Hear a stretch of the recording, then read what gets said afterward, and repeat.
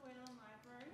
We are excited to today to have musician and songwriter Jon Waterman here with us. He's been performing his original songs along with blues, rock, and country standards throughout his life. And his music is influenced by intriguing characters and stories from history, the roots of the music he loves, and the diversity of the human experience. Waterman, Jon has an MA in popular music history from Prescott College in addition to an MA in psychology, and we're excited to have him here. Please enjoy.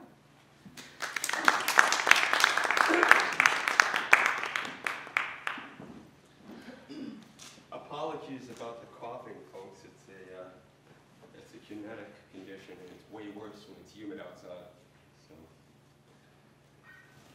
but don't worry, I'm not contagious. Put it away. DNA cannot be passed from uh,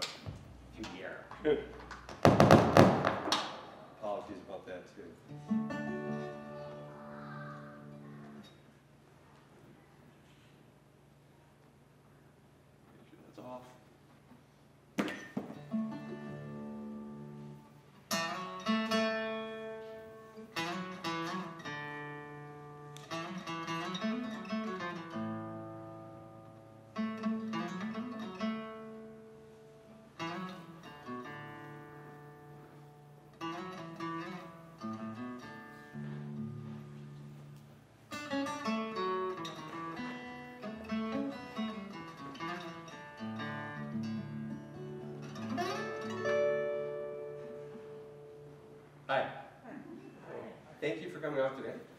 And thank you to Whalen Library for hosting this program. My name is Jon Waterman. in this show, we're going to explore and celebrate the roots of popular music in America through songs. So these are songs about music or musicians, or songs that have a backstory that helps to illustrate the story of popular music in this country.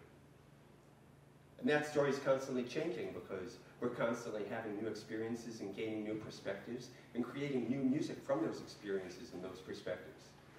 So the story of our music is a living story. It's not fixed to traditional styles or historic instruments or old songs that have been performed the same way countless times. There's room for new interpretations of those old songs and new instruments playing those old songs, as well as new songs, maybe songs that we've written to celebrate our history.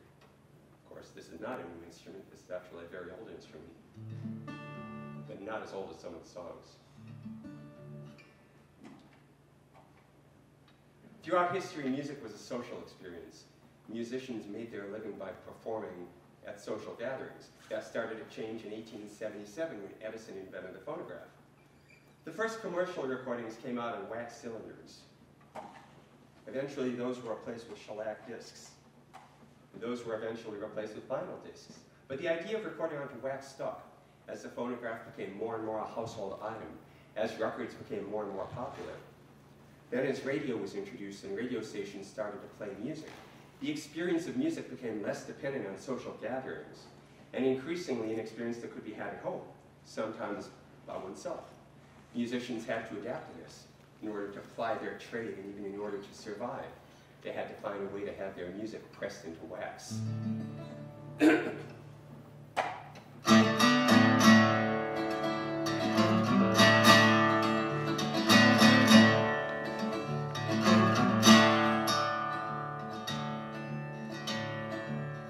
hills of eastern Tennessee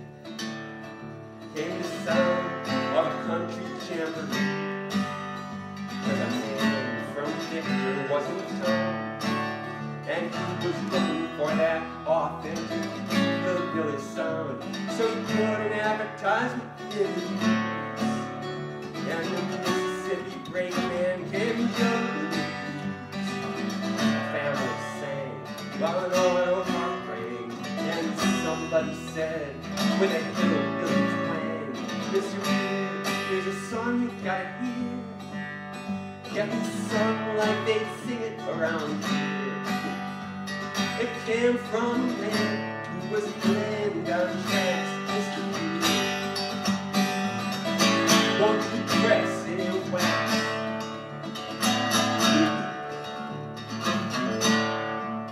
And from the flatlands of western Tennessee, along the river running down in New Orleans, where life's stories were told.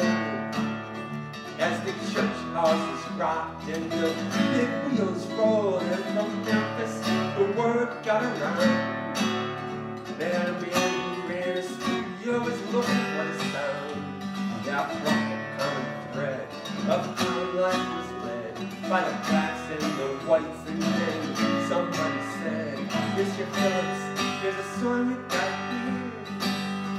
A song with a crowd and a sneer. It came from the man, it broken down fast, Mr. Phillips. Won't you press it in wax?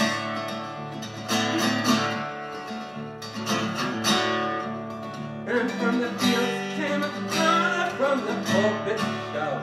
From the pews came the blues sung by those down and out. From the joints and jazz clubs and slums the call from where cotton grows tall. Time and call, Mr. Hammond, here's a song you got here. That's bound to keep playing through the sung by someone who might slip through the cracks, Mr. Hammond. Won't you press it in wax?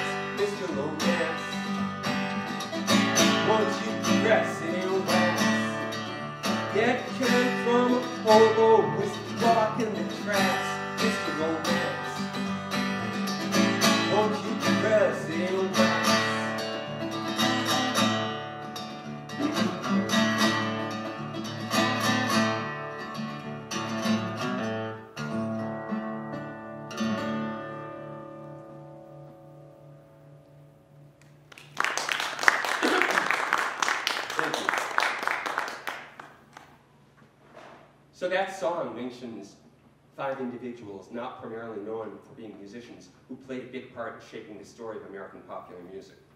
Ralph Peer, Sam Phillips, John Hammond, and John and Alan Lomax. A lot of folks that I've talked to have never heard of Ralph Peer. Anyone? Some, some of that. yeah. Ralph Peer was a talent scout for Victor Records in the 1920s. In 1927, he took his recording equipment south from New York. He was looking for musicians from the southern Appalachians. Peer had this idea that people living in rural areas would be more inclined to buy records from artists who had come from a background similar to their own, who have a lifestyle they could relate to. And it turned out that he was right. In two weeks of recording sessions in the town of Bristol, on the border of Virginia and Tennessee, he discovered both the Carter family and Jimmie Rodgers, two of the earliest superstars of American popular music. The other four individuals mentioned in the song most people have heard of. Sam Phillips, the founder of Sun Records, he discovered Howlin' Wolf, Elvis, Johnny Cash, Carl Perkins, Jerry Lee Lewis, Roy Orbison, and other folks. John Hammond, the talent scout and producer, he discovered Count Basie, Billie Holiday, Bob Dylan, Aretha Franklin, and a whole lot of other people. And John and Alan Lomax, father and son folklorists, they conducted field recordings throughout the South and documented songs in the American oral tradition. Their work gave rise to the commercial genre of folk music that would emerge in the 1940s and 50s. In 1934, the Lomaxes were conducting a field recording at Sugarland Prison in Texas. They recorded a prisoner named Ironhead Baker singing a song called St. James Hospital. That song is part of what's known as the rake cycle. That's a series of songs that are thought to have evolved out of an 18th century English ballad called The Unfortunate Rake. That song was brought to this country by settlers and immigrants, and over time it evolved. In Nova Scotia, it, it appeared as a ballad called The Bad Girl's Lament. and in the American West it appears as the cowboy song, Streets of Laredo. What all of the songs of the Rake Cycle have in common is they're all a series of requests from a dying character as to what he or she wants at his or her, his or her funeral. Requests like beat the drums slowly, play the fife lowly, or have six jolly cowboys carry the coffin. In the jazz and blues song, this song appears as St. James Infirmary Blues. I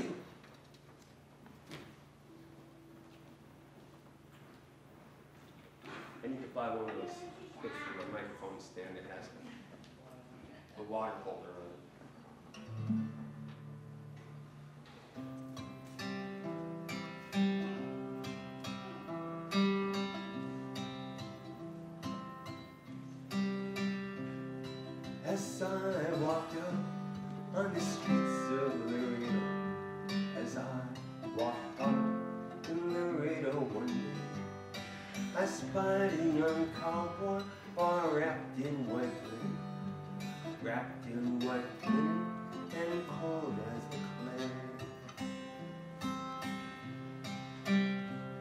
Beat the drum slowly and play the fife.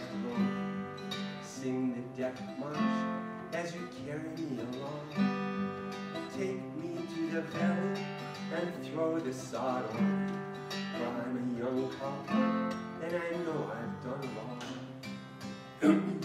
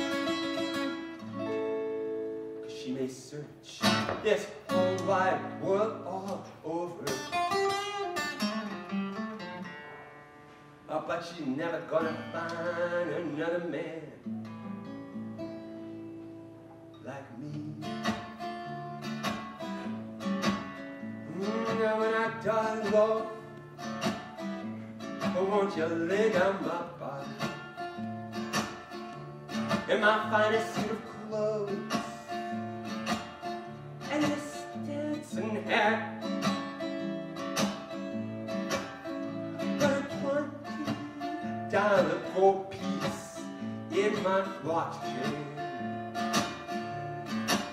so that the boys will all know that I died standing pat. Yeah, and I want six craft shooters to be my pallbearers. And I want a chorus girl to sing me a song.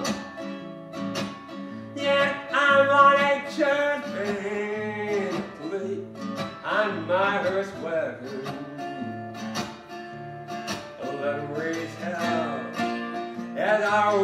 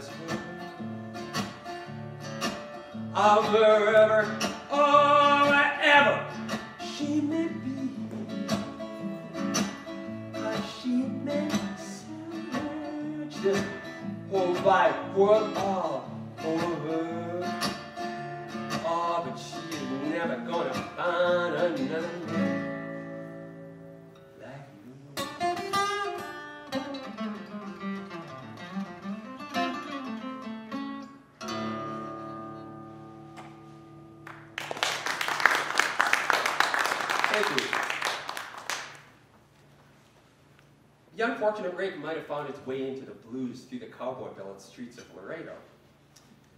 You wouldn't know it from the history books and you wouldn't know it from the Hollywood westerns. But it turns out there were a lot of black cowboys. It's estimated that about one in four cowboys was of African descent. And it would make sense that those cowboys would have taken to singing songs about cowboys that they heard sung by other cowboys. But they would have sung those cowboy songs according to their own musical sensibilities, rooted in the pentatonic scale used in African music. The pentatonic scale has fewer notes in it than the Western scale, which means there's more space between some of the notes. Space that can be used for an expressive sliding around on the pitch or bending the notes.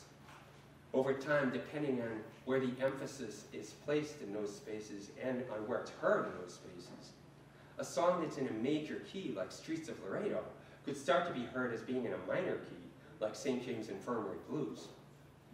If in fact that's what happened with St. James Infirmary, we'd expect there to be a song with lyrics similar to Streets of Laredo, but in a minor key. It turns out that St. James Hospital, sung by Ironhead Baker and recorded by the Lomaxes in 1934, is such a song. And that song might be the missing link that allowed an 18th century English ballad to be reborn as a blues.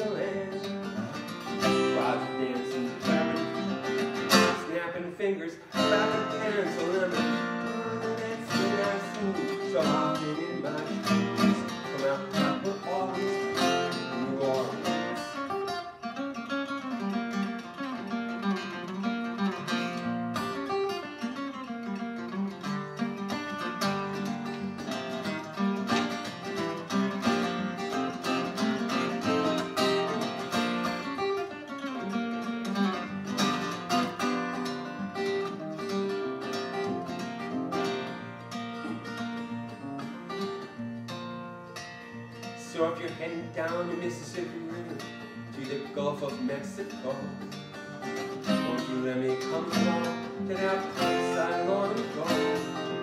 I heard about it in a song, I see it in my dreams, and my heart will always be in New Orleans. Oh, I've been down to the Chicago blues, been seen by Memphis soul, been digging Appalachian folk songs dark as West Virginia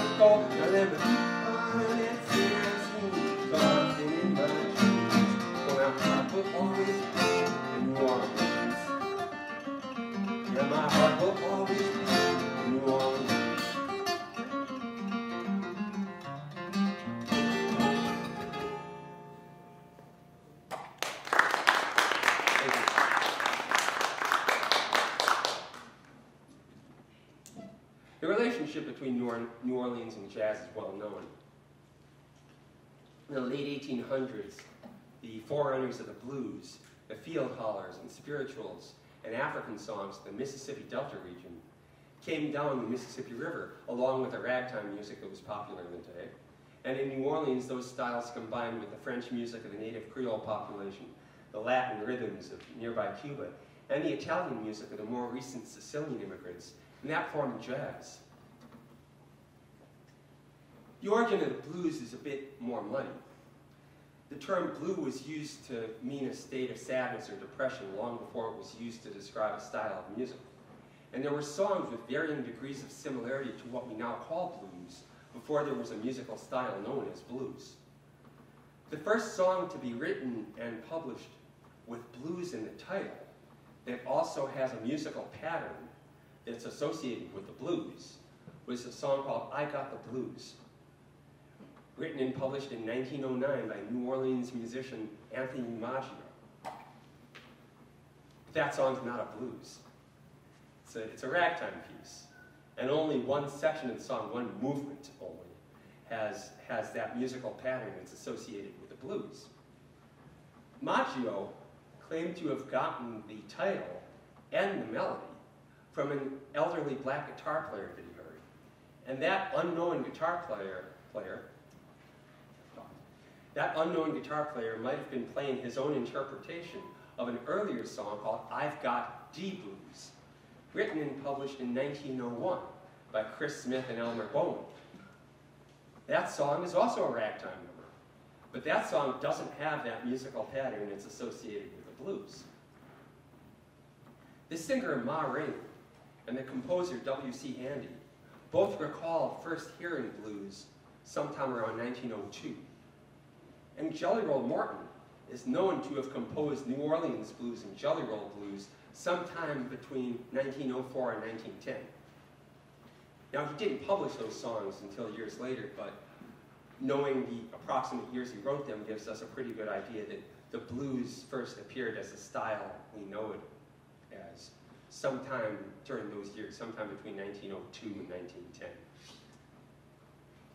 There's a historic site in the Mississippi Delta region called Dockery Farm, or Dockery Plantation. It was a sharecropping plantation where cotton was grown. It was established in the years after the Civil War. The reason it's a historic site is because of some of the people who lived there. Charlie Patton, Willie Brown, Son House, Tommy Johnson, Robert Johnson, Howlin' Wolf, Pop Staples, Honey Boy Edwards, all well-known bluesmen. Heard of them? Yeah. Yeah, yeah. These bluesmen all lived on Dockery or near Dockery around the same time. These legends, all there at the same time. And they would have jam sessions going late into the night to entertain the other tenants. Because of that, Dockery is considered one of the birthplaces of the blues. Now, according to legend, Charlie Patton learned to play the guitar from a mysterious figure named Henry Sloan. We don't, we hardly know anything at all about Henry Sloan. Um, no details at all. We assume he was probably a real person. Um, some historians think they might have identified his death certificate. That's all we know. Other legends hold that Tommy Johnson and Robert Johnson both sold their souls to the devil to learn how to play the guitar. So we'll check those out someday when we talk to the devil. We'll find out. In the meantime, we'll get to listen to this song called Dockery Farm, which has a bunch of uh, bad plays on words, and you'll hear the names of uh, those various bluesmen throughout the song in one form or another.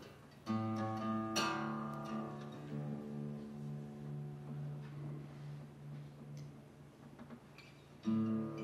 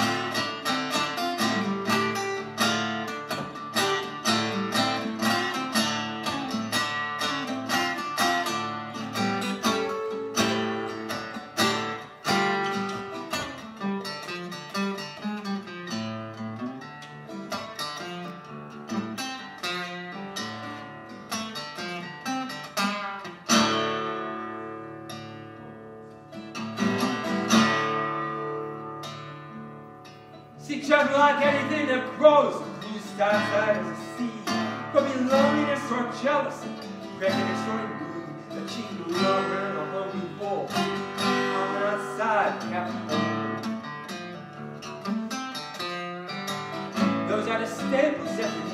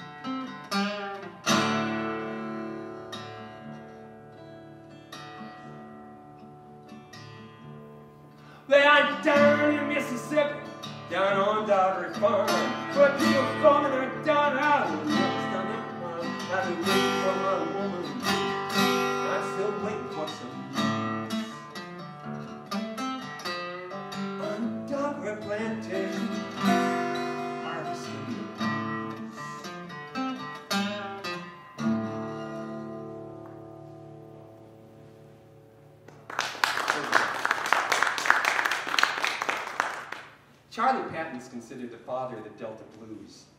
Not much is known about his childhood or his upbringing. Historians agree that he probably had Native American ancestry. He was probably part Choctaw or some argue, some argue part Cherokee. And it's been suggested that his rhythms and his vocal stylings might have been influenced by Native American music that he heard as a child. So there's actually a good case to be made that Native American music is as well a component of the blues. Big story, the, a big part of the story of American popular music is the story of immigrants. In the early 1800s, a large number of German, Czech, and Polish immigrants settled in Texas, which was then part of Mexico. They brought with them their music and dances and instruments, and over time the native Tejano population incorporated those polkas and waltzes and the accordion into their traditional rancheras. And that gave rise to a style known as norteño in northern Mexico. And it gave rise to conjunto and Tejano music in this country. Lydia Mendoza was one of the pioneers of Tejano music. She's, she was one of the first popular Spanish language recording artists in this country. Narciso Martinez was an accordion player. He's considered the father of conjunto music. He developed a new approach to his instrument that, that emphasized the melody notes played on his right hand, while his partner in the duo, Santiago Almeida, would hold down the bass and rhythm lines on a double-string baritone guitar called a Bajo Sexto. Enrique Valentin was the owner of a furniture store in Brownsville, Texas. In the early 1930s, a number of record labels started pursuing the same marketing strategy in rural Texas that Victor Records had in the Appalachians in the 1920s. They operated on the premise that people living in the rural area would be more interested in buying records from artists from that area. Enrique Valentin had a lot of contacts who were musicians, and he was able to serve as a talent broker to the agents from these various record companies when they came to Texas looking for Tejano or conjunto musicians.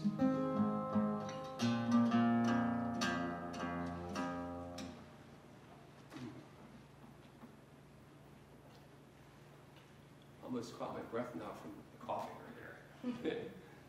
Lady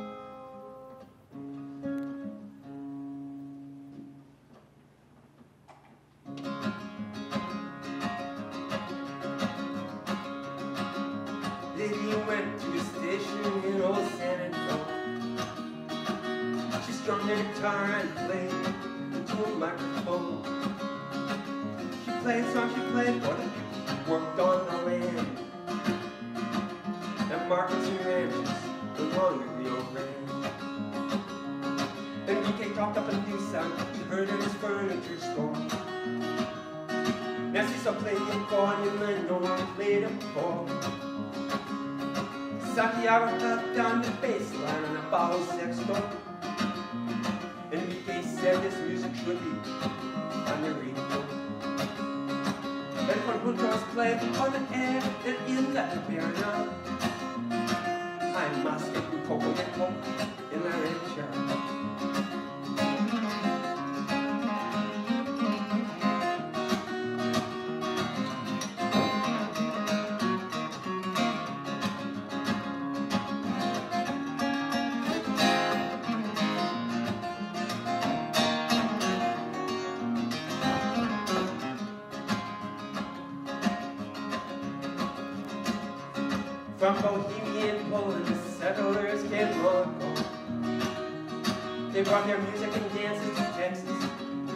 Mexico. And the native Tejanos with them playing those waltzes and polkas. We started putting that kompas sound into Mexican folk songs. And conjuntos played on air and in the taberna.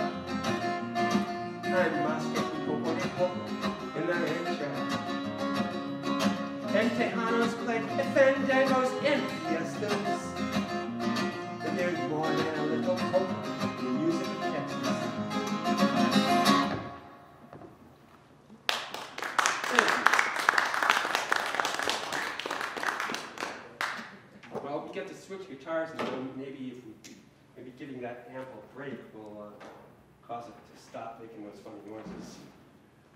In the old days, they didn't have to worry about that. They just had to worry about other things like contagious diseases that they didn't have vaccines for and stuff like that. So, there are chapters in history that are unpleasant to talk about, but we can't ignore them. They're part of the story part of the reason things are the way they are. If we ignore those chapters, we fail to recognize how they've shaped our attitudes and our culture if we ignore those chapters, we fail as a culture to recognize past wrongs.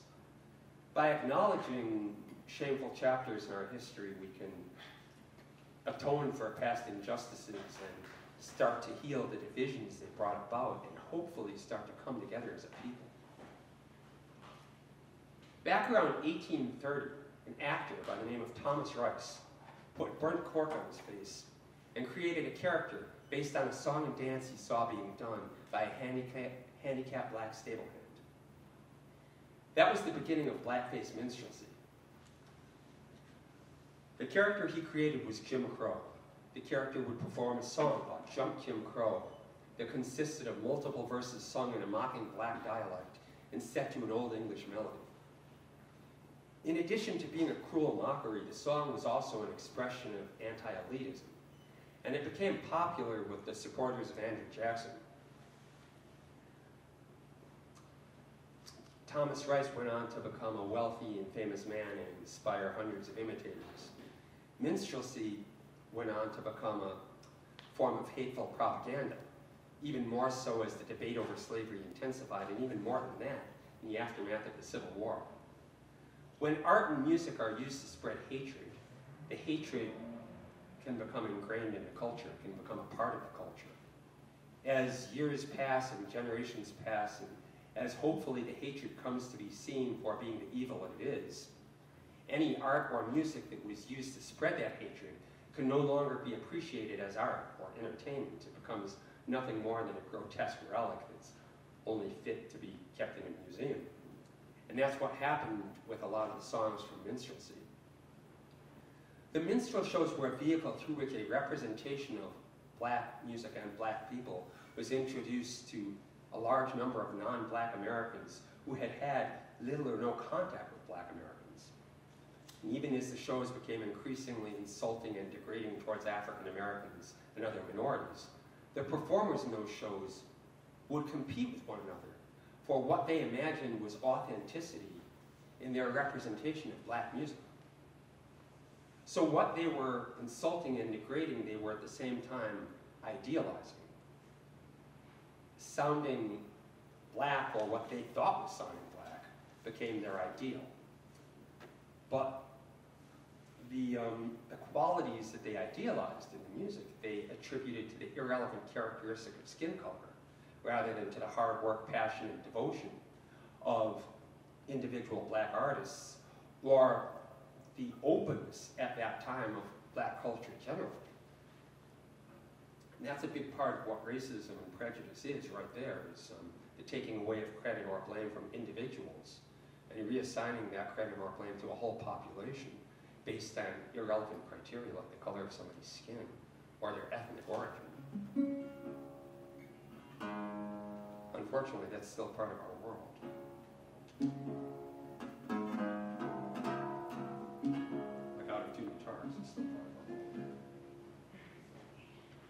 Called Thomas Rice's Traveling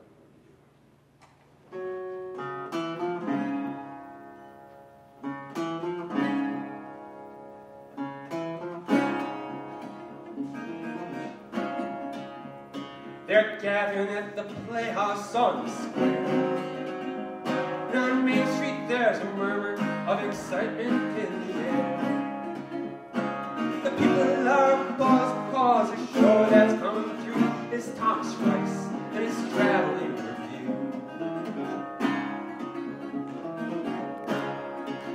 There's a smile in store for those of every age as the wilds of Ethiopia are turned loose upon the stage. And a sonic dance of many more will be inspired to by Thomas Rice and his traveling.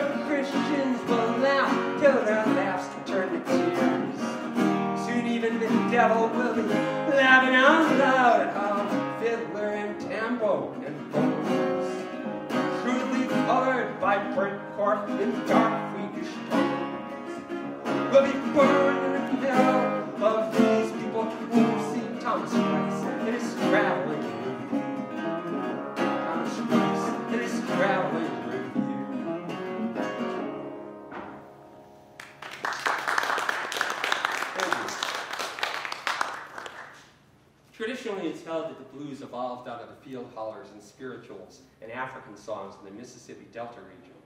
But there's an alternate theory that suggests that the blues instead evolved out of black vaudeville, as it was performed on a circuit of theaters in the late 1890s and early 1900s.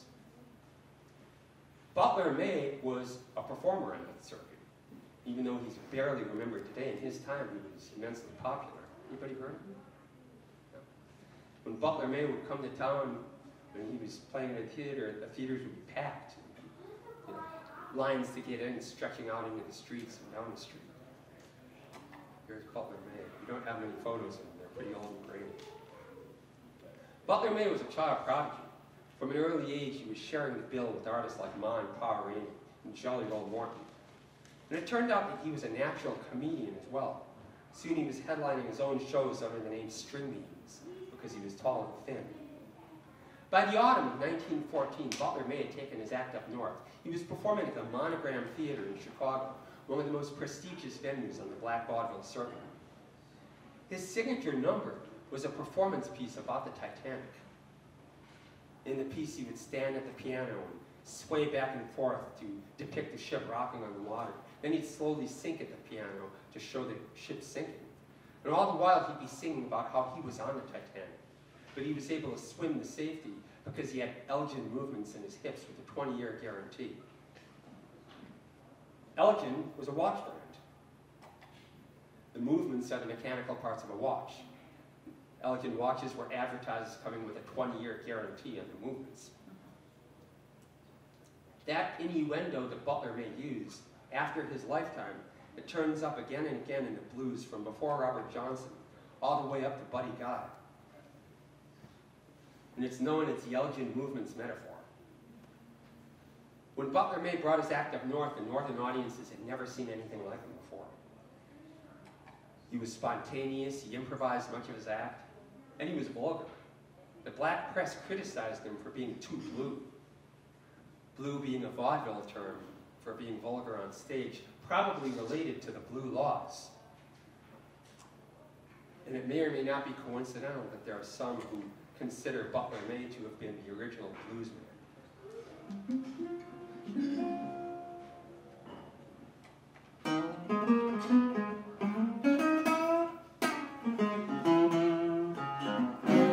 Montgomery, Alabama, on a hot summer day, just before the sun went down. A kid was playing piano on the back of a train, and a crowd of people gathered around. So old at the beginning of a story that be left untold. If you listen some sing, you might still know what you played today.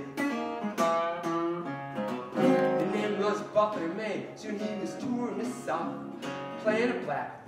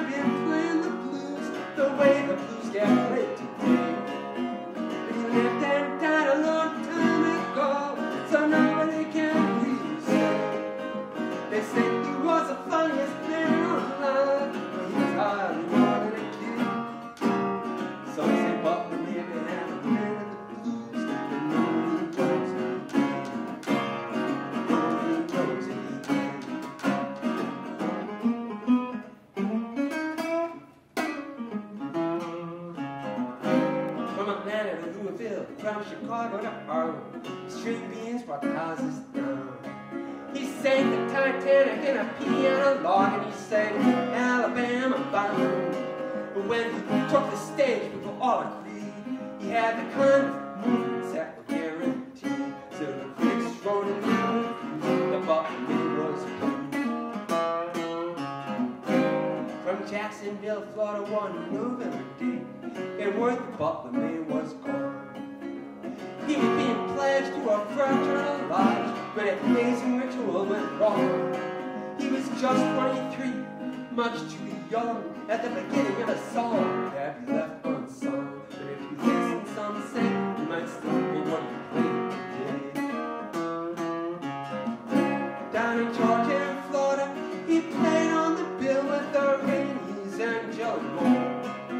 up north in Chicago, a mob would gather on State Street whenever string did the score. Some say Butler may have invented the blues, but nobody can really. Cause he never recorded or published his songs, and no one left you heard him play. They said he was the funniest man alive, but he was hardly more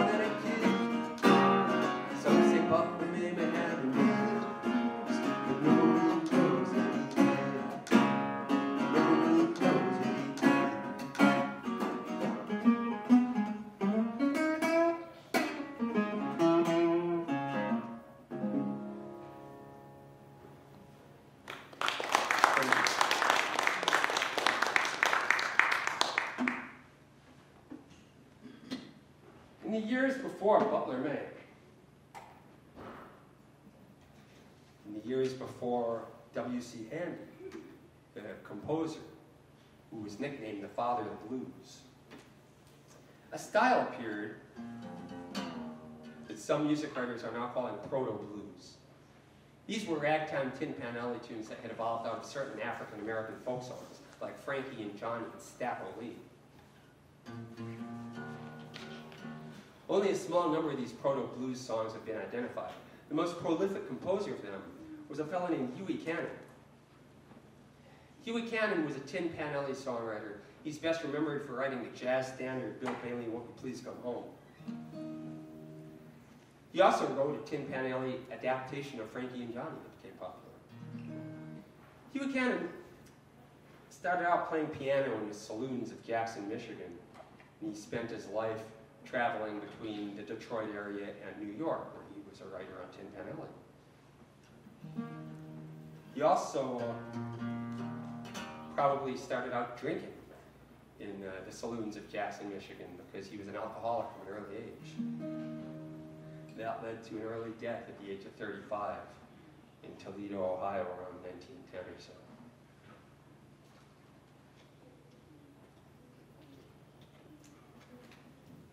Oh, should I plug this in? I don't know. Maybe it'll behave now.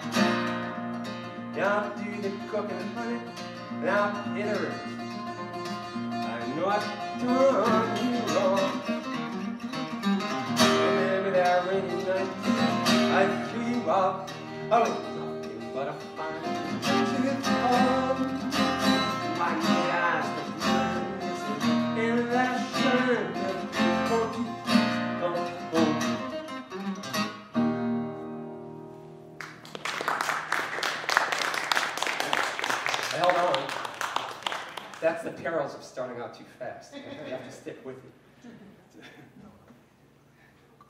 Well, in the 20th century, by the start of the 20th century, the phonograph became a household item. And throughout the 1900s, records were a popular source of home entertainment. And eventually they gave way to eight-track tapes, and those gave way to cassettes, and those gave way to CDs, and then digital downloads, and now we're coming back around to vinyl records again. But throughout that time, there have been those for whom the record is more than just a source of entertainment. There are the, uh, the record collectors, you know, these, uh, these dreaded scoundrels who um, frequent pawn shops and thrift stores, flea markets and yard sales. I've seen some of these folks in action. And um, they're looking for uh, that rare find, that rare collectible that's going to make them able to retire early and buy a mansion on an island somewhere. For one of these record collectors, a prize find would be an Elvis Sun Session 45.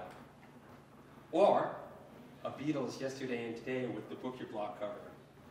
Or a 78 of, of Me and the Devil by Robert Johnson. Those, uh, all those fetch a good penny at an auction. Probably not quite enough to buy an island. So, um, the Elvis Sun Session 45s, these were the singles released by Elvis on Sun Records before he was signed to RCA in 1955. Sun Records, as we mentioned earlier, was founded by Sam Phillips. Sam Phillips got his start at working at a radio station in Alabama, which, unusual for the time and place, played both black and white artists back to back. That influenced his approach to music and to business. And um, he was primarily interested in recording blues acts, but at Sun Records he wound up recording all styles of music, and as we know, he discovered, uh, he was the first to record Howlin' Wolf, he discovered Elvis and Johnny Cash, Jerry Lee Lewis, all those guys. not ready for that yet. Being a record collector, I would imagine, is not without risks. I'm sure a lot of these folks have like thinned their wallets and lost their life savings and maybe even uh, their houses and spouses, and then and wound up with a garage full of dusty old records and nothing more. But this song is actually about circumstance that has to happen.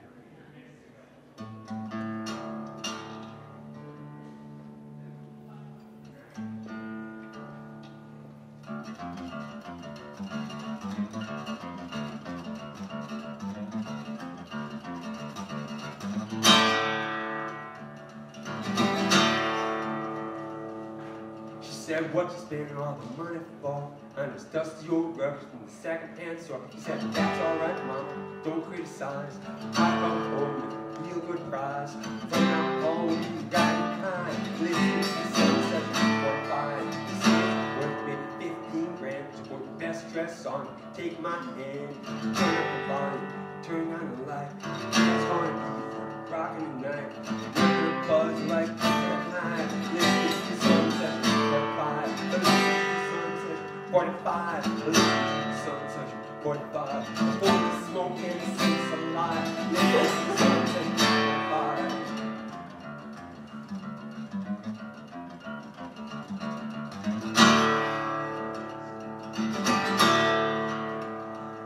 45. Well, me and the devil went for a spin. My number came up, I will be cashing in. Remember cousin Carol used to reel and rock. She was listening to the Beatles on Butcher Block. My ship's coming, it's finally arrived. When it's 1975.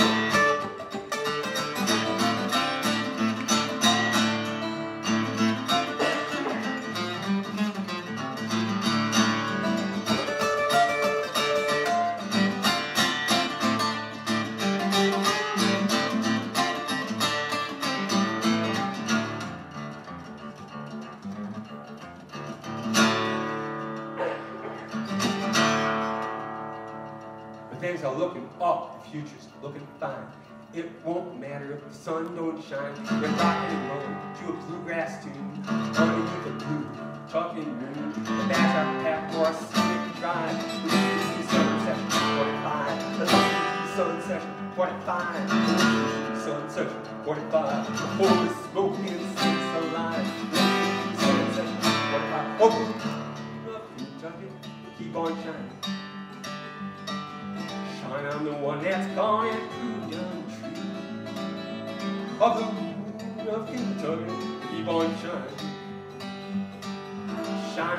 One that's gone the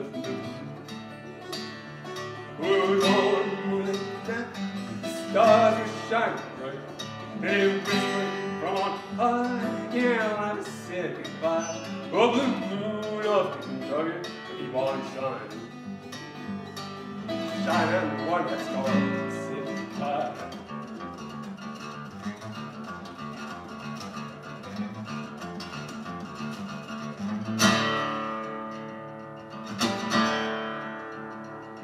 Well, days turn to weeks, time will tell.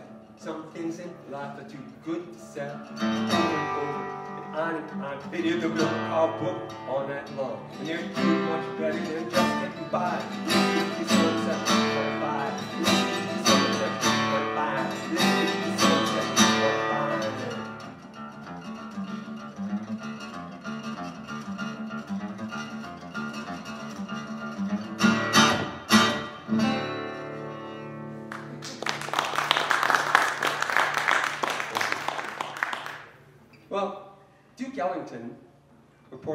Once said something along the lines of, all music is folk music. And um, that seems to be true, except, you know, from a contemporary perspective, I think I, I think maybe we could use the term popular music. All music is popular music because folk has become just another name of another genre, like rock and country. And a lot of the differences and distinctions between these genres have a lot more to do with stuff that has nothing to do with music. It's about class, race, ethnic background, what part of the country you're from, what your accent is, and what kind of language you speak, what your education is, all kinds of stuff like None of that has anything to do with music. Popular music is the music of the people. It's the music of all of us. It's the music that tells our stories and marks the events in our lives. And in that, there are no labels. There's just popular music. Some years ago at a show, a woman requested that I play the song Stardust, the old standard by Hoagy Carmichael. After the show, she told me a story. She said back during the war, this would have been World War II, she and her brother would go out dancing to the big bands. The last song of the night, the band would play Stardust, and her brother would always save that dance for her. then he was off to war to fight on the Italian front, and he never came back. And to that day, she always requested Stardust in his memory.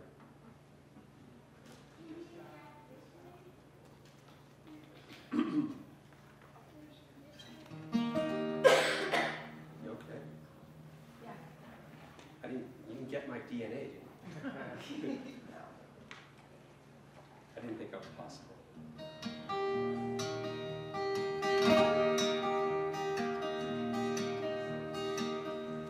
The band was playing Stardust as they danced on the floor. When the dance was over, he was off to war. The next day she was over here, he was over there. It was a last dance to Stardust that they shared. She read the letter that he sent as he marched towards Rome. The letter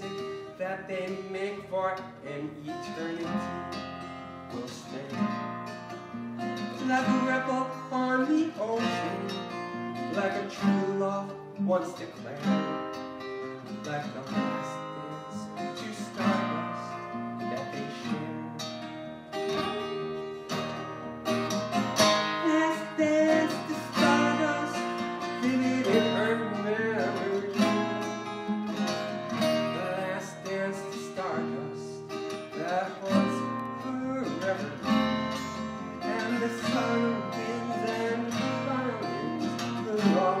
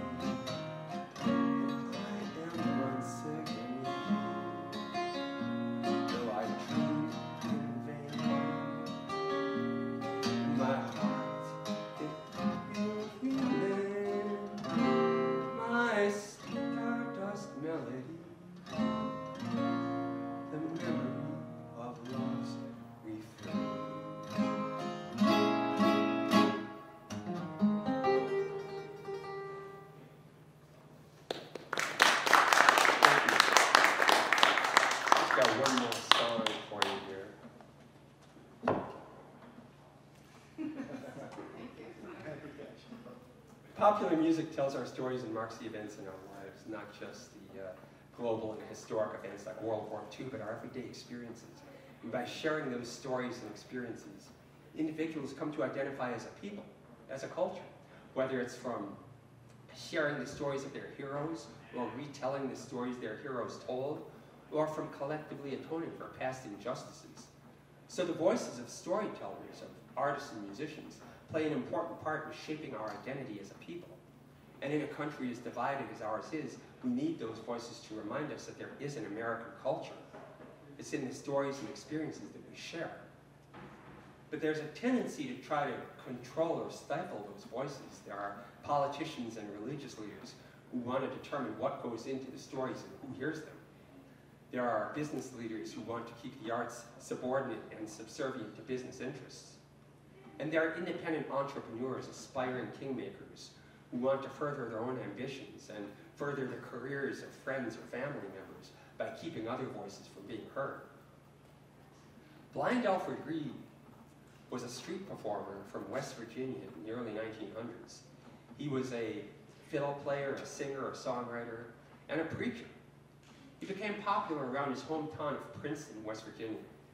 And in 1927, he was invited by Ralph Peer to participate in what would turn out to be the historic Bristol sessions, where Jimmie Rodgers and the Carter family would be discovered. Alfred Reed traveled to Bristol, and he recorded some sides, and they were well received. And he went on to record several more times over the next few years. And he attained a certain level of regional success. Some of his songs are still sung today. But then the Depression hit, and the record companies no longer had the capital to invest in developing rural acts. And Alfred Reed returned to being a street performer in his hometown of Princeton, West Virginia. Until 1937, when the town passed a new ordinance prohibiting street music. Some years later, Alfred Reed died. Now, according to some sources, the cause of his death was starvation. Now, a number of years have passed, enough time that we can't necessarily say that it was he starved to death because the town prohibited street music. but by denying him his livelihood and his passion, weren't they metaphorically starving him anyway? And weren't they starving the rest of us and people around him from hearing his unique voice? and leave you with this last song. This is called Blind Alfred Reed. I truly hope you've enjoyed the program. I want to thank you again for coming out and uh, putting up with my coughing and so and popping of the amp. Life happens. Thank you. If anybody has any questions or anything, I'm glad to chat afterwards.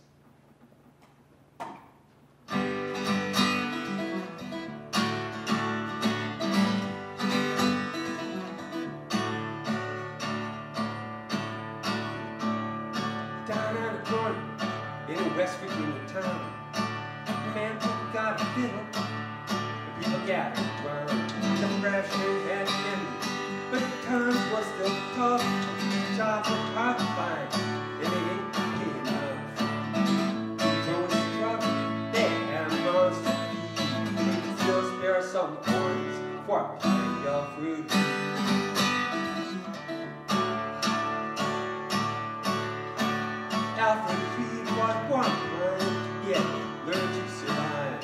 Survive